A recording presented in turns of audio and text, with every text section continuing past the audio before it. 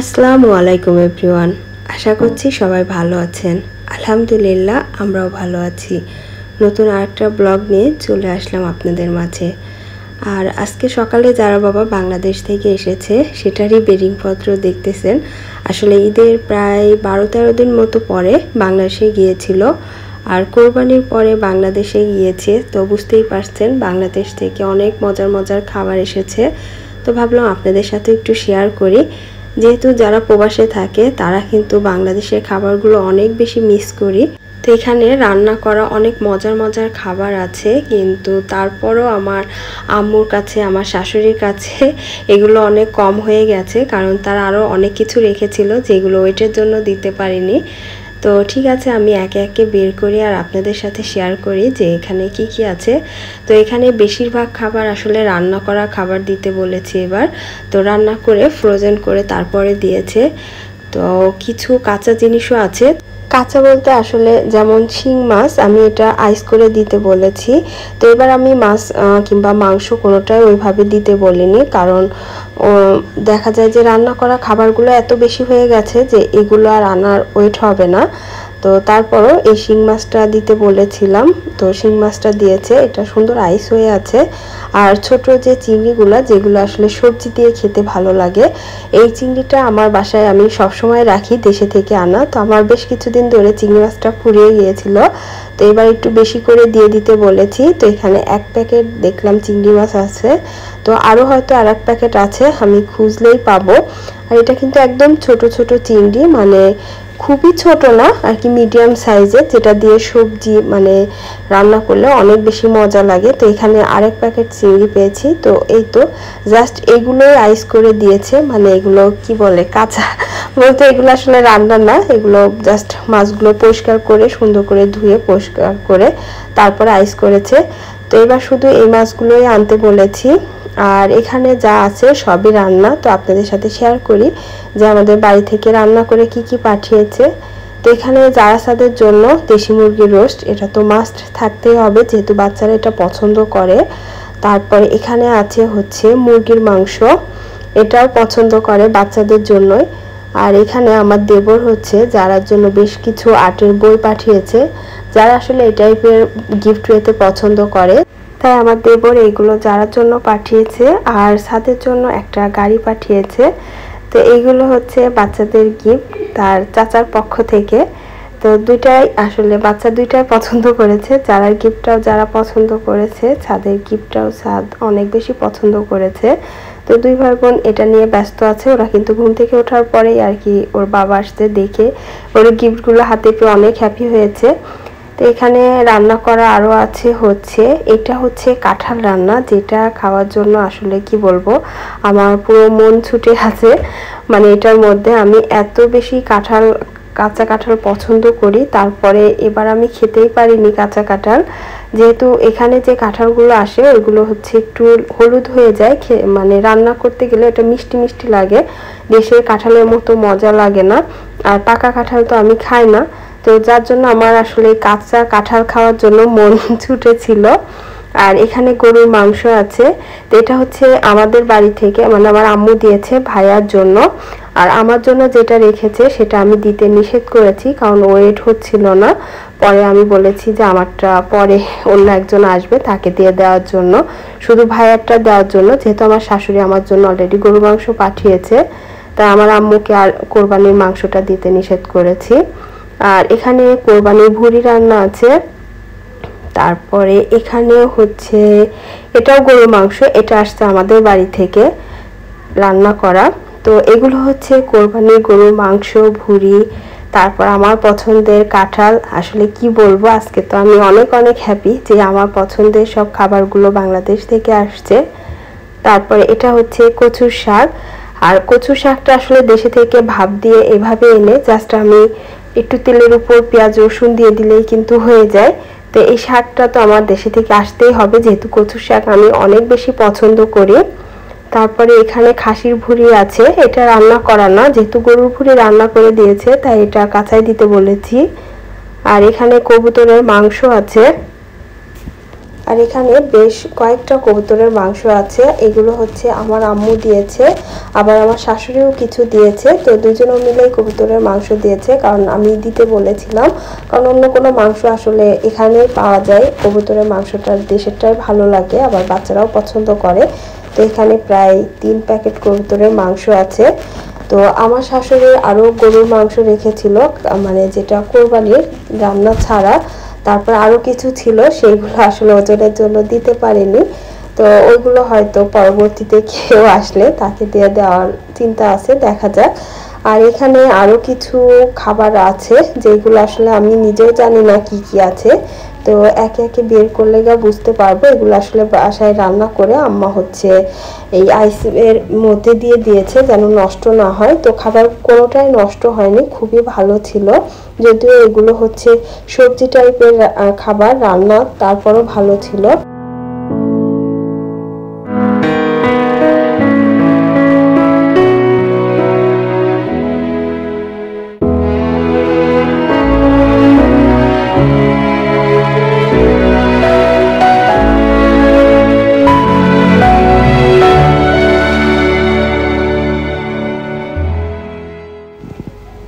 এটা হচ্ছে দুধপুলি পিঠা আর এটা একদম ভালো ছিল, যেহেতু সব কিছু আইস করা, তার মধ্যে এগুলো দিয়েছিল, যার জন্য এগুলো একটা খাবারও নষ্ট হয়নি। আর অনেক বেশি টেস্টি ছিল, আমি তো অনেক মজা করে খেয়েছি কয়েকদিন। আর এরকম ছোট ছোট বক্সে আসলে বেশ কয়েক রকম খাবারই রান্না করা খাবার পাঠিয়েছে। তো এখানেও আর একটা সবজি তরকারি রান্না করা। অনেকের কাছে আসলে এই জিনিসগুলো হয়তো মানে কেমন লাগতে পারে যে এইগুলো কেন রান্না করে পাঠিয়েছে। এই যে এই তরকারিটা, এটা হচ্ছে ধেরুস দিয়ে চিংড়ি মাছ রান্না। তো এটা আসলে আমার শাশুড়ি গতকালকে মানে যারা বাবা আসার আগের দিন, স্বপ্নে দেখেছে যে আমি আম্মার সাথে বসে এটা খাচ্ছিলাম, আর আমার কাছে নাকি অনেক মজা লেগেছে তাই বলছিলাম। তাই রান্না করে অল্প করে আমার জন্য পাঠিয়েছে। আর এখানে আছে হচ্ছে তালের পিঠা কিংবা বড়া, তাল, তারপর নারিকেল দিয়ে আর কি পিঠাটা বানানো। আর এটা হচ্ছে আম মাখানো মানে আম ভর্তা সব কিছু করা আছে জাস্ট আমাকে বাসায় আরেকটু মাখিয়ে নিতে হবে। তো এটা হচ্ছে ডিপ করা আর কি। আর এখানে আর একটু কাঁঠাল রান্না আছে, এটা হচ্ছে খাসির মাংস দিয়ে কাঁঠাল রান্না করা। তারপর এখানে আরেকটা তরকারি আছে, এটা আসলে কি বের করলে বুঝতে পারব। তো এরকম অল্প অল্প করে বেশ কিছু তরকারিও দিয়েছে। তো আজকে আমার আর রান্না করতে হবে না, এগুলো দিয়ে খাওয়া হয়ে যাবে। তো এখানে হচ্ছে ঢেঁড়স রান্নাটা বের করলাম দুপুরে খাওয়ার জন্য। আর এই পিঠাটা দেখে তো লোভ সামলাতে পারছিলাম না, যেহেতু এই পিঠাটা এমনিতেই ভালো লাগে। তারপরে দেশের হচ্ছে খাঁটি গরুর দুধটা ঘন করে যদি এই পিঠাটা বানানো যায়, অনেক বেশি মজা হয়। তো এখানে দেখলাম আম্মার দুধটা সুন্দর ঘন করে তারপর পিঠাটা বানিয়েছে। আর পিঠাটা অনেক বেশি মজা ছিল। তো আমি তো আনার পরপরই পিঠাটা খাওয়া শুরু করে দিয়েছি এখানে। তো আরও কিছু শুকনা জিনিস যারা বাবা আনছে, সেটা হচ্ছে এখানে একটা কুকিজ নিয়ে আসছে। আসলে মাঝে মধ্যে দেশের এই বিস্কুটগুলো খেতে ভালো লাগে মানে সন্ধ্যার টাইমে নাস্তা হিসেবে। তারপরে এখানে হচ্ছে লাঠি বিস্কুট, যেটা এখানে লেখা হচ্ছে ক্রিম রোল। কিন্তু আমরা ছোটোবেলায় এটাকে লাঠি বিস্কুট বলে খেতাম। তো এখনও বেশ মজা আছে এই বিস্কুটগুলো। তো এটা এক বক্স নিয়ে আসছে, আর এখানে হচ্ছে নিমকি আছে। নিমকি আছে ঝাল, লবণ, মিষ্টি, তিন রকমেরই। তো এই হচ্ছে শুকনা কিছু খাবার। তো এখন দুপুরের খাবারের জন্য আসলে কোনটা রান্না করব বুঝতে পারছি না। তো এখানে ভুড়ি আছে, তারপর মুরগির মাংস আছে, গরুর মাংস। তো পরে চিন্তা করলাম যে মুরগির মাংসটা রান্না করি বাচ্চাদের জন্য আর আমাদের জন্য ভুড়িটা রান্না করি। আর সবজি তরকারি তো কিছু আম্মা রান্না করে দিয়েছে, ওগুলো দিয়ে আমাদের দুপুরের খাবারটা হয়ে যাবে। তো এখানে আমি ভুড়িটা অলরেডি গরম করছি। আর এখানে ভুড়িটা দেখতে যতটা লোভনীয় লাগছে, খেতেও কিন্তু অনেক অনেক বেশি মজার ছিল। এক হচ্ছে কোরবানির ভুড়ি, দ্বিতীয়ত বাড়ি থেকে আম্মা রান্না করে দিয়েছে। আসলে এটা স্বাদ যে কেমন হতে পারে, সেটা তো আপনারা অবশ্যই বুঝতে পারছেন। তো আরও কিছু গরুর ভুড়ি আসলে আমাদের জন্য রাখা ছিল, যেটা রান্না ছাড়া ওইগুলো কোনোটাই দিতে পারেনি। আসলে সব কিছুরই তো একটা ওয়েট থাকে। তো এবার তো হচ্ছে কাতারিয়া রয়েছে এখন 30 কেজি করে ওয়েট দিয়েছে। তো যার জন্য ওয়েটটা কমানোর জন্য কিছু আনতে পারেনি। তো ভুড়িটা গরম করে নিলাম আর এখানে মুরগির মাংসটা বের করলাম। তো মুরগির মাংসটা আসলে বাচ্চারা মুরগির মাংসটাই বেশি পছন্দ করে, আর ওদের জন্য বেশিরভাগ দেশে থেকে মুরগির রোস্ট, মুরগির মাংস এই দুইটা পাঠানো হয়। আর দাদিমা তো মানে যেই আসবে এই দুইটা পাঠাবে। যেহেতু বাচ্চারা অনেক বেশি পছন্দ করে তো আমরা দুপুরে খাওয়া দাওয়া শেষ করে একটু রেস্ট করলাম। তারপরেই তো সন্ধ্যার দিকে ভাবছি একটু বাইরে যাব। যেহেতু যারা বাবা প্রায় টু উইক্সের মতো ছিল না, আর বাচ্চারা বের হতে পারেনি, যার জন্য আজকে একটু বের হব বাচ্চাদের নিয়ে। তো যার আগে ভাবলাম এখানে দুইটা ড্রেস আমি অনলাইনে অর্ডার করেছিলাম। তো যারা বাবা নিয়ে আসছে, তো এগুলো আপনাদের সাথে শেয়ার করি। তো এটা হচ্ছে একটা ব্ল্যাক কালারের একদম শিপন জর্জেটের ড্রেস ওইটা হচ্ছে সালোয়ার, এটা হচ্ছে ওড়না। আর জর্জেটটা আমার এত বেশি পছন্দ হয়েছে মানে একদম শিপনের আর আমি আসলে কমফোর্টেবল ড্রেস ছাড়া অনেক ড্রেস আছে, যেমন এখন অর্গানজা খুব উঠেছে, কিন্তু এগুলো আসলে পরে একটু আরাম নাই। আমার কাছে তেমন বেশি একটা ভালো লাগে না। আমি চেষ্টা করি একটু আরামদায়ক ড্রেস পরার সবসময়ই। তো কটন ড্রেস হলে তার কোনো কথাই নেই। তারপরে যদি জর্জেট হয়, চেষ্টা করি একটু শিপনের মধ্যে নেওয়া, যেগুলো পরে আরাম পাওয়া যায়। তো এই ড্রেসটা হচ্ছে পুরোটা কালোর উপরে আর কি, কালো দিয়েই কাজ করা। সাথে একটু শাইনি আছে। আর এই তো, এই ড্রেসটা লেস টেস আছে। সব কিছু মিলিয়ে আমার কাছে ড্রেসটা ভালোই লেগেছিল। তো ড্রেসটা সুন্দর করে বানিয়েও নিয়ে আসছে। আর এটা হচ্ছে হাতা। হাতাতেও সুন্দর করে লেস দেওয়া আছে গোল্ডেন কালারের। আর কালোর সাথে আসলে গোল্ডেন কালারটা যায় সুন্দরভাবে। তো ওটা একটা ড্রেস গেল, এটা হচ্ছে আরেকটা। আর এটা কালারটাও সুন্দর, এটা হচ্ছে একদম কটনের। ওড়নাটা অনেক বেশি সুন্দর। আর এটা হচ্ছে, ওড়নাটা আসলে কি ওড়না আমি নিজেও জানি না যেটা। এটা আসলে কটনের কিংবা অন্য কিছু বলে কিনা, আমি শিওর না। কিন্তু ওড়নাটা একদম পাতলা, অনেক সুন্দর, অনেক বড়। এটা হচ্ছে ওড়না, এটা হচ্ছে ড্রেস। মাস্টার ইয়েলোর সাথে হোয়াইটের পিটানো এম্ব্রয়ডারি কাজটা অনেক বেশি ভালো লাগছিল। তো এই ড্রেসটা আমার অনেক বেশি পছন্দ হয়েছে। আর এটা হচ্ছে পাকিস্তানি লোন, অনেক পাতলা কাপড়ের আর কি কটনটা। তো যার জন্য আমি ভিতরে ইনার দিয়ে বানিয়ে নিয়েছি, এটা হচ্ছে হাতা। তো এই ড্রেসটার হচ্ছে সামনেও যেমন এম্ব্রয়ডারি কাজ আছে, এই ড্রেসটার পিছনেও কিন্তু সুন্দর এম্ব্রয়ডারি আছে। তো এই তো, এটা হচ্ছে ব্যাক সাইড তো এই হলো আমার দুইটা ড্রেস। যেটা আমার খুবই খুবই পছন্দ হয়েছে। আসলে অনলাইন থেকে নিলেও যদি ভালোভাবে দেখে নেওয়া যায়, সুন্দর কিন্তু ড্রেস পাওয়া যায়।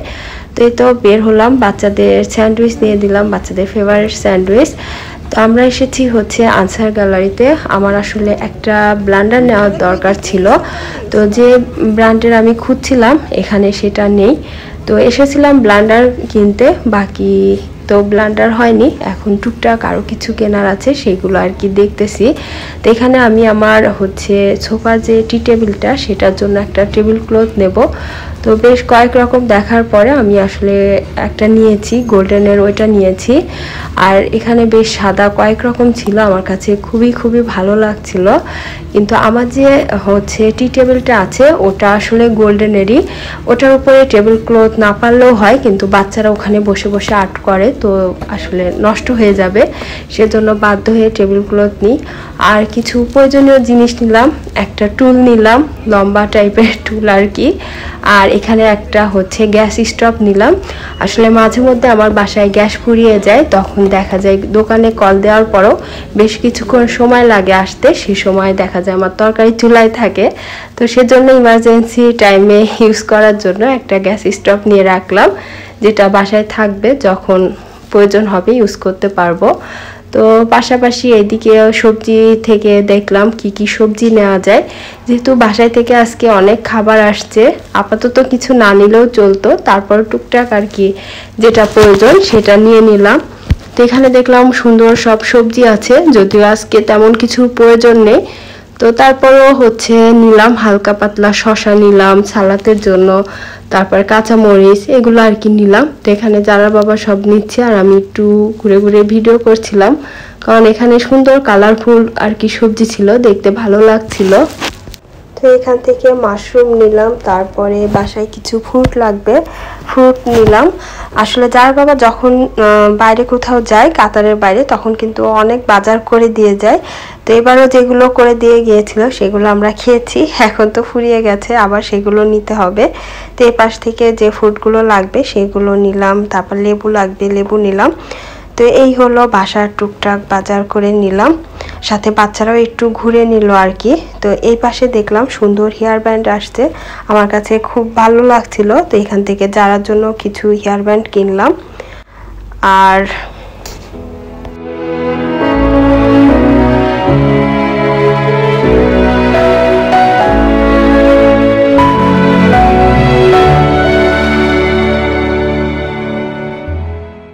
কেনাকাটা শেষ, এখন বাচ্চারা সুইটকর্ন খাবে, তো এখান থেকে একটু লেমন আর স্পাইসি বেশি দিয়ে সুইটকর্ন নিচ্ছি। তো এই ছিল আমার আজকের ব্লগ সবাই ভালো থাকবেন, আমাদের জন্য দোয়া করবেন। আল্লাহ হাফেজ।